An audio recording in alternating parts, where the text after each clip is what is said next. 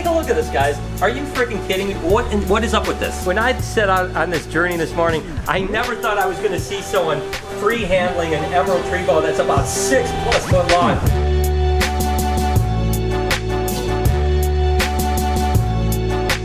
Hey, good morning, everybody. Welcome to the vlog. I hope the start of your day is absolutely incredible. Today was the day that I was supposed to head out on my epic cross-country journey in that Beetle bus.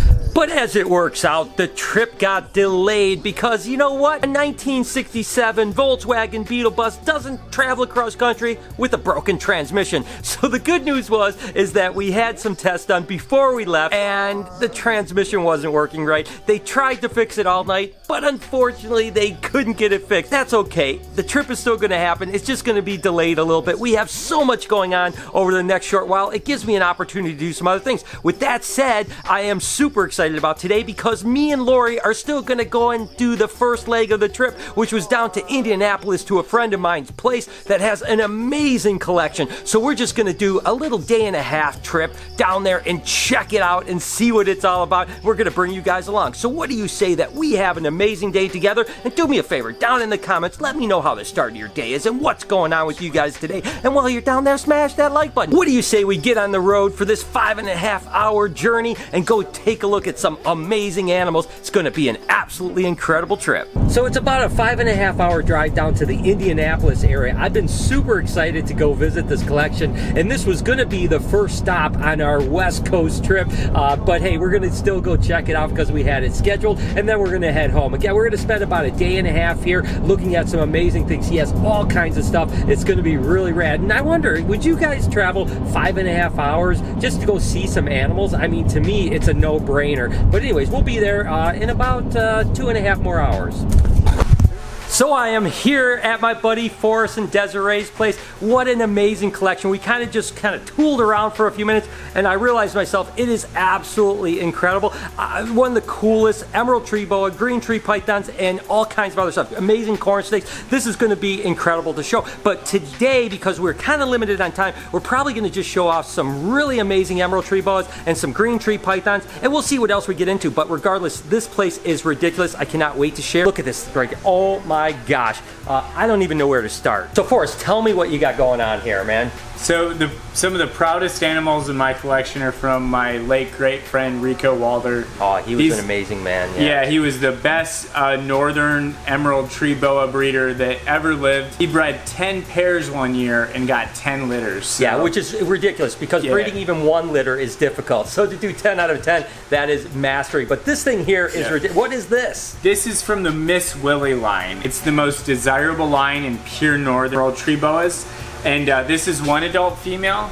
And then this is another adult female in shed. It's a great honor to be able to uh, continue this line on. Isn't that crazy, guys? I mean, literally, uh, emerald tree boas were just like a childhood thing for me. I mean, I don't know what it was. I just, I think that you see them in books and, and, uh, and, and just, it just blows me away. So to be around a collection of amazing emerald tree boas and green tree pythons are incredible. Not to mention, you know, Forrest is really about really specific localities and specific kind of traits, which I think is really amazing because a lot of the arboreal guys are that way. So it just depends on bloodline, it depends on locality, it depends on particular looks. So uh, he has some of the most crazy stuff around for sure. But man, take a look at that. Oh my gosh, she is just so gorgeous. You can see these guys aren't the uh, evil monsters that uh, that they're meant out to be. This is a massive snake too. I mean, look at the size. Look at my hand compared to its face. I mean, oh my gosh, and, and, these guys have massive teeth, so yeah. to be this close to an emerald tree boa that seems to be completely docile, I mean, this is like a dream come true. I mean, that is, oh my gosh. Yeah, wow. I remember the first time I met this girl and uh, just seeing how tame she was and that I could enjoy handling her and what a great temperament she has. I mean, can you imagine that? I mean, when I set out on this journey this morning, I never thought I was going to see someone free handling an emerald tree boa that's about six plus foot long. I mean, look at this snake. I mean, it's like that that that is impressive. I mean, I literally could just go home right now and it was well worth the five and a half hour drive just to see this. Oh my gosh. All right, so here is another crazy animal. Forrest, what the heck is going on with this thing?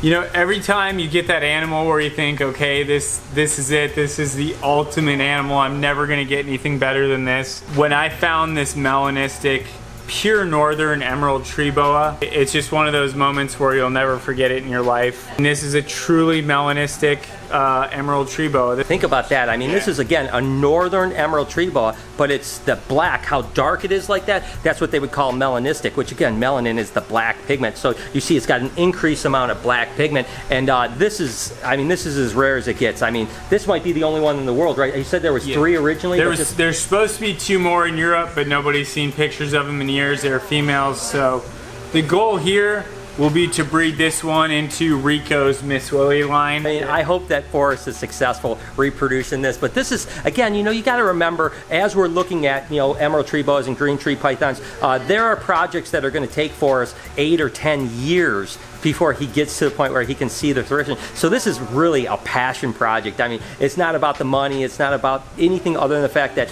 Forrest is just obsessed with getting these beautiful and the most beautiful specimens. Uh, and this is this is incredible for us. All right, guys. Before we get back to seeing some arboreal stuff, uh, Forrest just showed me this blood python, and uh, I don't think that you guys could appreciate that. Take a look at the size of this blood python right here. Look at this thing. that, is, that is absolutely ridiculous. And of course, this blood python might be one of the biggest blood pythons in the world. This is, of course, a beautiful red blood python, but it's uh, almost seven foot or seven foot plus, and uh, would you say 70 something pounds? Yeah, 70 something pounds over uh, 7.7 feet. 7.7 feet of blood python. 7.7 feet and 70 pounds. I mean, I cannot, and look at how beautiful it is too. So not only is it tame, it's gorgeous, but it is absolutely the biggest blood python I have ever seen. Take a look at this thing.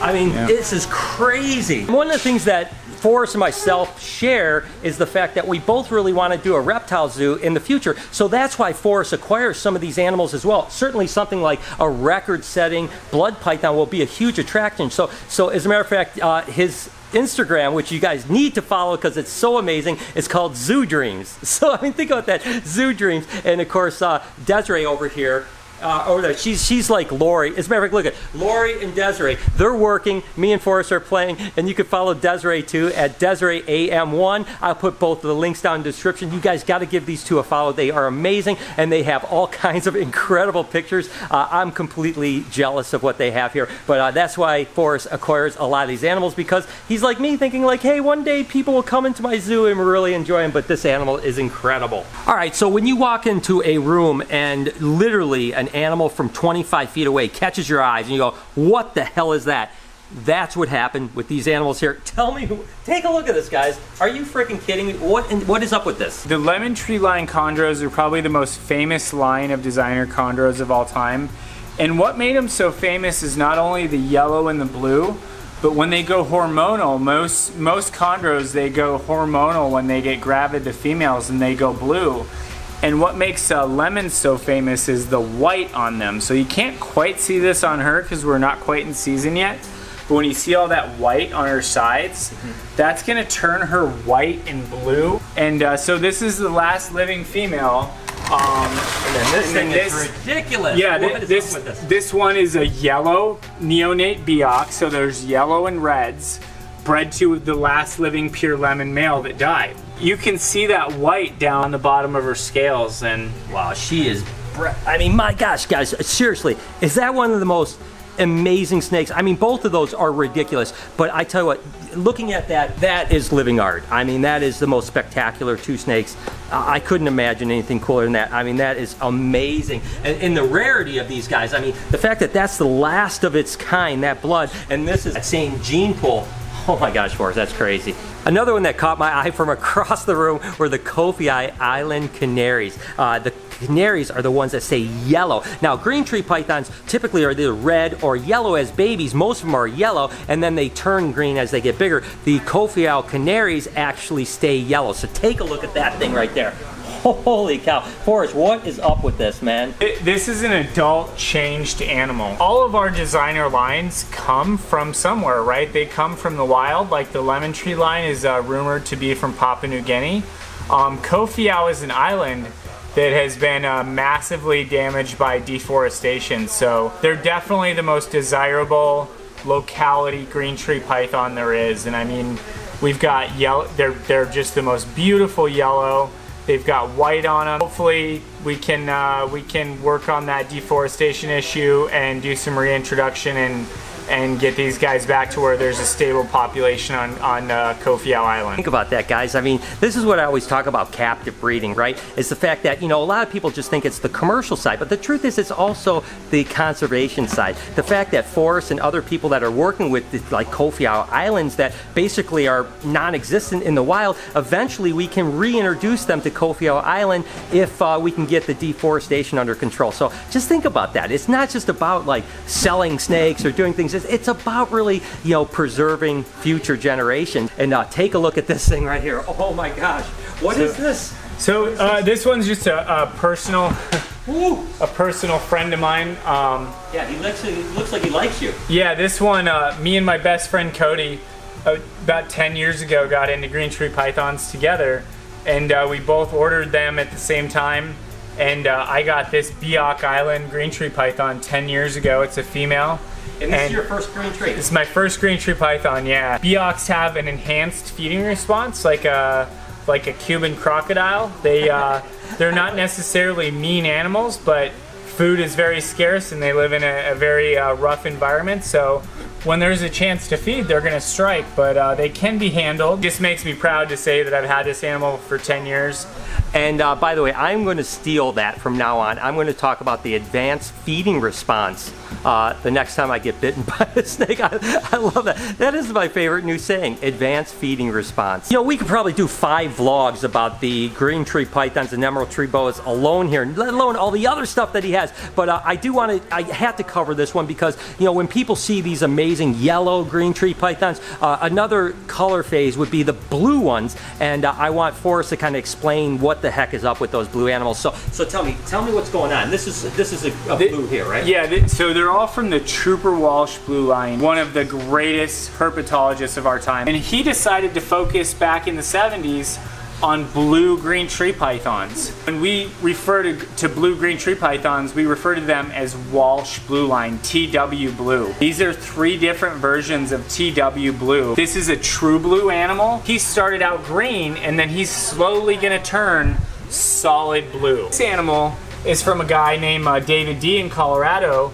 He bred a true blue to a true blue with some of the best genetics ever and this one went straight blue. So it's it's a super blue. And then this is a male true blue. So these are all Walsh Line Trooper Blues. So now Forrest has basically given us the whole kind of education on the blue green tree pythons. But uh, what's really amazing is that uh, Trooper had certainly developed that line of blues, but Forrest is trying to work on his own line, and I cannot wait to hear because this thing is spectacular. What is the deal with this one now? I think this is the most amazing blue snake to ever come out of Indonesia. This is like the fourth or fifth real blue male. My dream would be that this would be the uh, Forrest Fanning blue line but it's gonna take me 10, 15 years to uh, breed him out to a pure Jaya Jayapura, which is what he is. And then I gotta breed him back to his babies and uh, see if this could possibly be a genetic trait. That thing is crazy. And just think about that, guys. I mean, Forrest is so committed to his craft that he's willing to start a project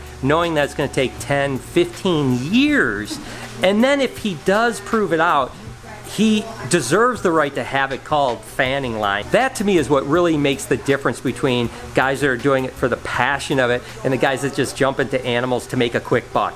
Obviously, Forrest isn't in it to make a quick buck because he's so unbelievably committed to it. And that animal is amazing. And uh, I tell you what, we need more people like you, Forrest. I appreciate it. Guys, I tell you what, it has been an amazing time. And again, we could spend the next 10 hours here looking at animals. I think that I'm going to have to make a trip back. Forrest is actually doing a couple new buildings as well as like, you know, making a bunch of new cages in this building, a new bunch of, so he's still kind of, you know, he's in the rearranging phase right now. So I want to come back in the next few weeks and really kind of show off his amazing collection all the way around. But right now, I tell you what, this, this vlog could be 25 minutes. Uh, so I'm going to just end it here here. Let me know down in the comments, number one, what your favorite thing that you saw here was. And number two, tell me if you want me to come back and what else you want to see. Remember to follow Zoo Dreams and Desiree AM1 on Instagram so that you can follow their other crazy stuff. I'm going to put all of the links to all of their social media stuff down in the description. Please do me a favor and follow. them. I hope you guys enjoyed this incredible journey.